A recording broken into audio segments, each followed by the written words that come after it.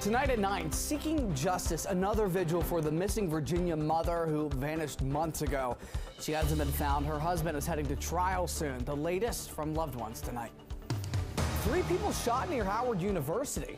The open investigation tonight and a scare not far from where students and alumni celebrated a milestone homecoming weekend. And curbing late night crime, the effort in one Maryland county to ramp up security at businesses Lingering questions about cost and the timeline for residents to weigh in. Degrees above the average high temperature and 9 degrees below the record. How long would this heat start to increase across the DMV? And we're stretching your dollar. Another DMV grocery price check. How 10 pantry essentials fared to start the week at Walmart, Giant, and Safeway. You're watching the station covering all of the DMV. This is DC News Now.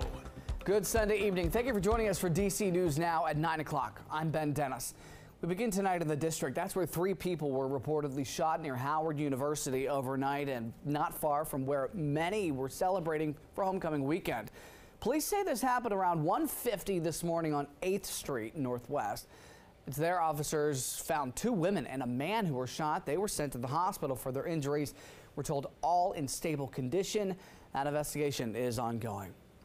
Well, in Maryland, today marks one year since a 56 year old man disappeared in St. Mary's County. Officials are continuing their efforts to locate Daniel Lewis Edwards. They say he was last seen leaving a construction job site in California, Maryland. Over the year long investigation, detectives determined that there were suspicious circumstances surrounding his disappearance. If you have any information, you're asked to contact the St. Mary's County Sheriff's Office. That number is on your screen.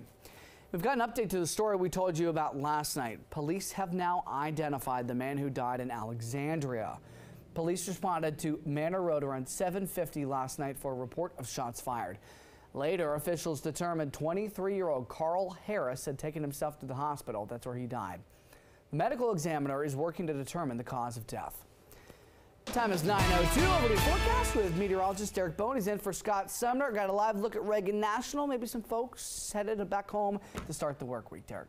Yeah, we saw temperatures today nearly 9 degrees above the average high temperature for this time of year, but also 9 degrees below a record high. Temperatures as we head about this week will start out into the um, upper 70s, but eventually will rise up into the 80s. Now, I don't think we'll hit uh, record high standards by any means, but we do have, of course, some warm days ahead, and temperatures are going to be well above the average from now until probably November. We're looking at, of course, uh, current conditions conditions.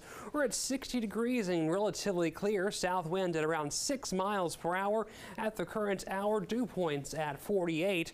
Looking at, at those temperatures to fall overnight. We're looking at temperatures across the region. They are into the 50s as well as the 60s at this current moment. We're at 61 Hagerstown, 51. Compare that to Martinsburg, 52. Moving over towards Frederick, 50 in Waldorf, 53 in Lexington Park this evening.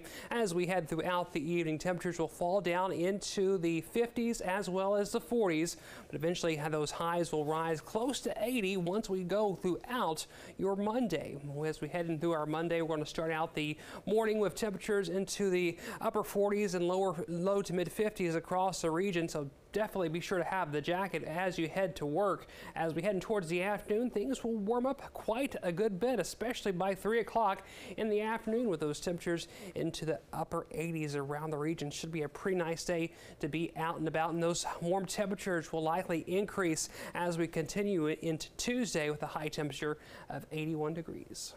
All right, Derek, we'll see you in just a few. Meantime, new details tonight. D.C. Mayor Muriel Bowser just formally requested City Council approve the financing agreement to revitalize Capital One Arena. Now we know the new details, including the purchase price of the arena and lease agreement to keep the Wizards and Caps in town.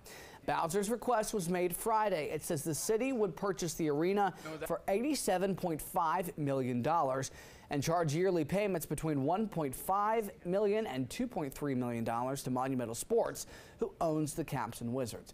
The buying price is reportedly included in the $515 million deal to keep the teams in the city. Council approved that deal in April and that amount. DC's financial officer says money is sufficient for the coming budget years to make these payments. council will still have to consider Bowser's request. Well, a Boar's Head plant in Virginia at the center of that deadly listeria outbreak is again being investigated by the feds. The U.S. Department of Agriculture's Inspector General has opened an internal probe into how the agency handled violations reported at the plant. Investigators will look into whether inspectors responded appropriately to dozens of troubling reports of problems there.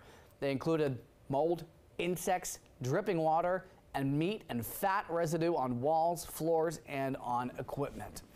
All right, Prince George's County leaders tonight, they are trying to prevent late night crime and keep residents safe and businesses from being vandalized. But the council is looking to pass a new bill requiring some businesses boost their own security.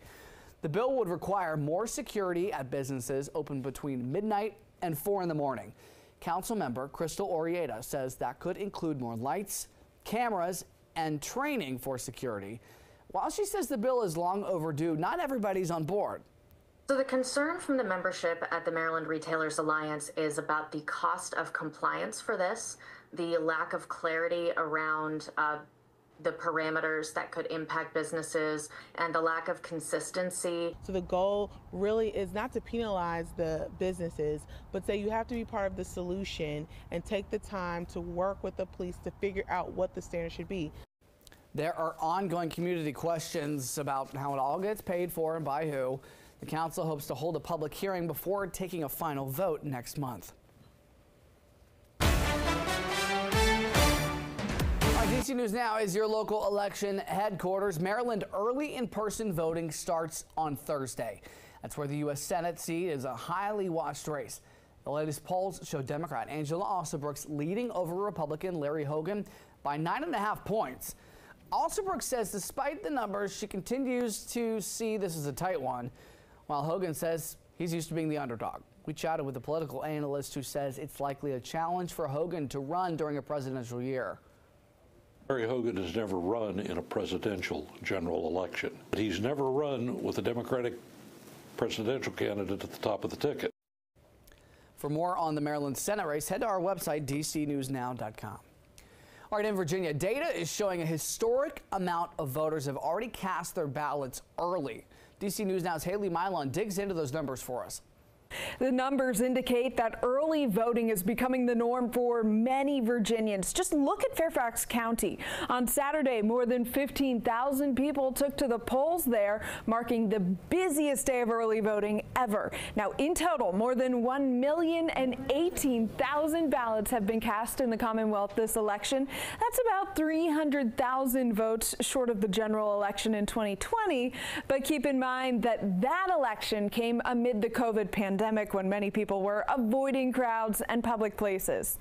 Most people are opting to go to their polling places, with 70% of those early voters casting a ballot in person compared to 269,000 who voted by mail. Now, to make things easier for you, Fairfax County has added 13 additional satellite voting locations where you can vote between 1 p.m. and 7 p.m. on weekdays and 9 a.m. to 5 p.m. on Saturday, and then 1 p.m. to 5 p.m. on Sunday.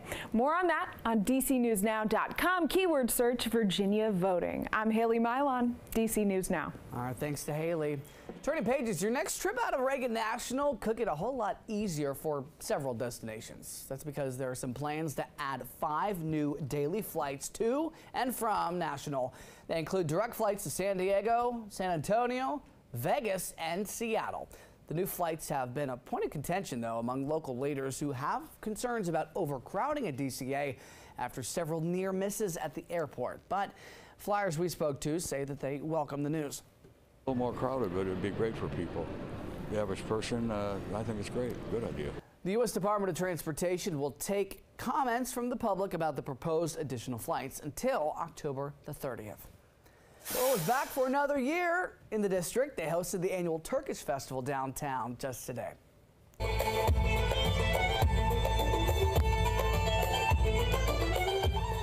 All the fun of the festival brings together more than 20,000 visitors, estimated every single year. It features classical Turkish dances, you just saw it, traditional cuisine from local vendors, including Turkish tea and coffee, and handmade crafts. This year marks the 21st year of the festival.